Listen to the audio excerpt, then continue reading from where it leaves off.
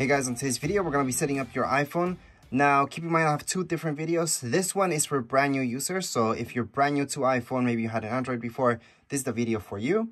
If you have been a user before, so you have another iPhone, you just want to transfer your stuff, that's another video. Now, before we get started with anything, let's just go over the basics. Right here, you will see on the left-hand side of your phone, you're going to see this. So this is your volume. Okay, so let's put it up, down. This will make it vibrate if you want. And you just want silence really quick. This again, right here is your SIM card. You don't need to insert a SIM card in order to activate this phone. But you can if you want to right now, you might as well do it. And on the other side, it's gonna be your power button or your Siri button. Now, what SIM card works with this phone? It doesn't have to be this brand. This is just a carrier. You can get any carrier that you want and as long as they give you something like this you should be fine. So let me just take out this whole thing. So see this huge thing? Yeah old phones used to use that. Some phones still use this. So these are just adapters. And what you want to do is take out all these adapters off you're to choose the smallest one. So this is the sim card that's to fit on your phone.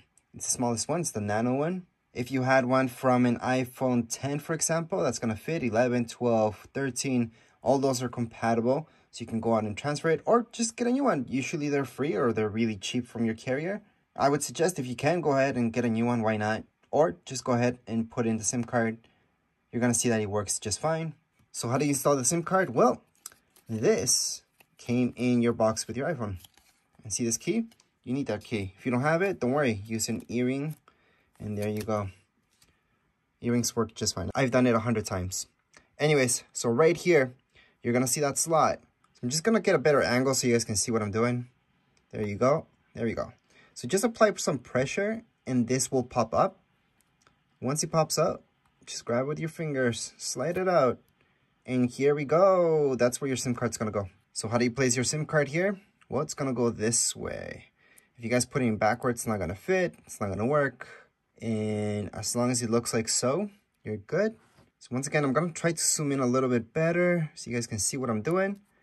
And here we go. That's it. That's all you guys have to do. So that's how you guys can insert your SIM card on your brand new iPhone. Right now, we can just turn on our phone. Again, you do not need to do this. You can do this, but it's no big deal if you don't set up your phone with a SIM card. All right, so now that we put in our SIM card, or you didn't, doesn't matter. I'm gonna show you how to charge your phone. See this cable that came with your phone? This cable, you're to need to buy a brick if you want to plug it into your wall. Because you're to plug this part in. So you need to buy a brick that has USB-C. There's lots of them. There's one that's compatible also with iPads, which is great because it's going to charge your iPhone just a little bit faster. But it's really your choice. You could even plug this into your computer, which is what I do, and just charge it there. So once you hook that up, you just hook up this end right here on your phone, and that's how you charge it up. But your phone already has some battery in it, so you don't need to do that in order to set this up. Plus, if you're having any difficulties, you have any problems, you could hook this up to your computer and just go on with the setup throughout your computer instead of doing it on your phone. But anyways, to turn on your phone for the very first time, you're to see this. This is your Siri button or your power button. Hold on to it and keep holding on to it until you see an Apple logo popping up, which is right there. After just a little bit, you should see this. Just go ahead and swipe up. Then choose whatever language you would like. We're going to go with the English in this case. Then go ahead and choose your region. It can be any one of these. So just scroll down and choose your region. By the way, I do want to mention that anything that we set up right now, we can change later on in our settings if we change our minds. But anyways, we're just going to choose Canada for now. This is if you had a phone before. However, if you don't, if you don't have an iPad, you can't transfer anything. Actually, when you're transferring stuff from your iPad, it transfers some stuff, but not everything. So it's not the best thing. But anyways, if you did have contacts and stuff like that, that will transfer even throughout iCloud. You don't really need to have your iPad beside you. Once you log into your iCloud, you're going to see that. Anyways, assuming you guys are brand new, we can go on to set up manually. So right here, we can just choose our network. So we're going to go on and choose this because that's mine. By the way, if you're doing the setup with hotspot, sometimes it just doesn't work. So I recommend actual Wi-Fi. Once you press on join, it should just connect up unless you have your password wrong. Everything should be working fine. And yes, you do need internet in order for this to work. So right now, it may take a few minutes to activate your phone. It's very important that you activate your phone with an iCloud ID. You don't technically need one. You can always skip that step, but I do have a separate video that shows you exactly how to fill out and how to get an iCloud ID because it's very important, especially if you lose your phone or anything like that. You can blacklist it, you can iCloud lock it, you can even track it down really, really easily to see where it is. Anyways, we're just gonna continue on. Face ID, you can set this up or you can set it up later. Assuming you guys are new, we're just gonna set it up and I'll teach you how to do this. So we're gonna go on and press on continue. And you just have to do what it tells you right here. Basically in a circular fashion, and then you're set up with the Face ID. Again, you could have skipped this, but we're gonna go ahead and do it right now. But again, I do wanna mention that if you don't wanna import any personal information inside here, just press cancel right now and just going to set up later. You do not need Face ID. You do not need iCloud. You don't need anything to set up your phone, especially for people who are selling it. You just want to have it activated so the person who's buying it from you can test it out really quick. Then go ahead and just skip everything basically and you're pretty much done. But again, I'm just to go into continues and get started just to show you how this works. So here I am. I'm just to look around. I'm to be surprised if this works because my tripod's in the way. All right, so this part is basically because of COVID. You can use Face ID with a mask on or you have to take it off. So it's your choice. Most of you want to be able to use Face ID to access your phone without taking off your mask if you have to wear one. So we're to go on and use Face ID with the mask. And we're just to scan right right again, all the way around. Face ID is now set up. So we can go on and click on continue on.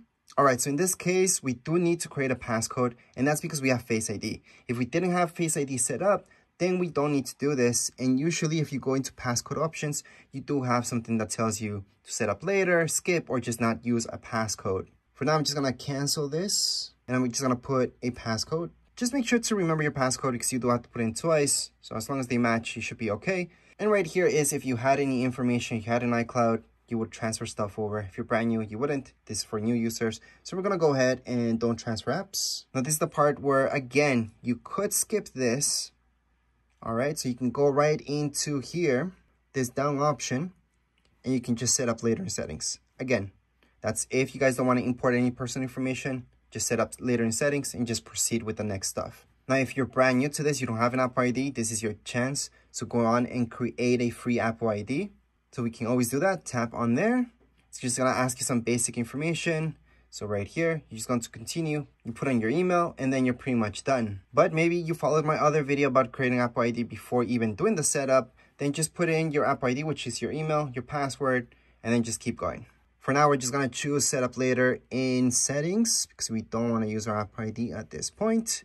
But again, I highly suggest putting an Apple ID if you're brand new to iPhone and this will be yours. Keep your iPhone up to date. Yeah, we can change that up later on. By the way, we can just turn off. Actually, we can change any settings that you set up right now. We're going to go on to continue. Now, regardless if you're selling this or not, you should put enable location services. Just so the person who's testing this out can go ahead and take a look at it. And if you're a new person to this iPhone, it's really useful just for Google Maps and just maps in general. So we're gonna go ahead and enable that. So right here, it tells us that we can transfer a phone number. Actually, we can just go on and put in our SIM card and that's it. We don't really have to transfer from a nearby phone or anything like that. However, at this point, it does detect that we didn't put in a SIM card because I took it out. So we're just gonna set that up later in settings. And hey, a lot of you won't even have a eSIM. eSIM is basically because there's a SIM card already built into the phone. That's why you can have two numbers in your phone. You can have the phone number from your SIM card and then a eSIM, which is the SIM card that's pre-built into it. So that's what this means about transferring. But yeah, we're just gonna skip this. Now this is Siri. Again, you would just select setup later in settings, but that's only if you don't want to import any information. Other than that, go ahead and press continue because this is your phone you want Siri to work with you. You can select the voice of Siri. I'm just going to go for Hi, one for right now. Siri. Choose the voice and like going to next. Hey Siri. Hey Siri, send a message. Hey Siri, how's the weather today? Hey Siri, set a timer for three minutes. Hey Siri, play some music. So all I did was read exactly what he told me on the screen, just do that and just hit on continue. So he recognizes your voice. So it tells you how to ask Siri. You don't really need to press anything. Only it's telling you that you can press this button here, which you can. You just need to say, hey Siri, and then it's gonna go ahead and assist you. Go ahead and continue. This is up to you. You can share your audio recordings or not. I don't really care, so I'm gonna go on. Screen time. Screen time is mostly for parents. So if you're giving this to your child, set up screen time. You can set up restrictions and a bunch of stuff so your kids have limited time right here. However, if this is for you, you most likely just want to skip this. And right here, I would suggest go on and share with Apple. You don't have to. This is just information about your cell phone, just so they can make updates according to whatever errors they see. So I'm going to share with Apple. Same goes with this, share with developers. You don't have to again. You can choose light mode or dark mode. Dark mode just makes it look like this, which is what I personally like. However, for this video, it's better for me to just leave it as light mode. Go on and zoom. Yeah, you can make everything a lot bigger in your phone by zoom or standard would look exactly how you see things. It gives you a quick sample of how it looks like. It just looks a little bit magnified. We're gonna go on emergency SOS, yeah, continue on. And we are officially done. Welcome to iPhone. So once again, these are the apps. These are standard apps that you would get in your phone. You would get nothing else. And these are all the standard apps. Let me just open up this folder so you guys can see all the apps that you get in your phone. But that's it. Let me just show you this folder. And like I said, if you want to download social media, like I mentioned before, go on and check out the App Store and start downloading. Of course, you need Apple ID for that. So just make sure you have that activated. But again, if you didn't want to import anything personal right now, it wouldn't have anything personal in it as long as you skipped everything. And yes, the first thing you want to do is go into your settings and just update your phone. So just follow any updates that it needs. And by the way, just to close everything and set up everything. So for example, if I go to clock, I can just swipe up and there you go. That app is closed. So just wanted to show you that because a lot of people forget to close their apps and then they're wondering why their phone's a little bit laggy. But as long as you close some of them sometimes, you should be okay. Anyways, as far as this setup video, we're all done. If you guys have any comments, questions, you guys can write down here in comments area. Don't forget to subscribe and like. Thank you.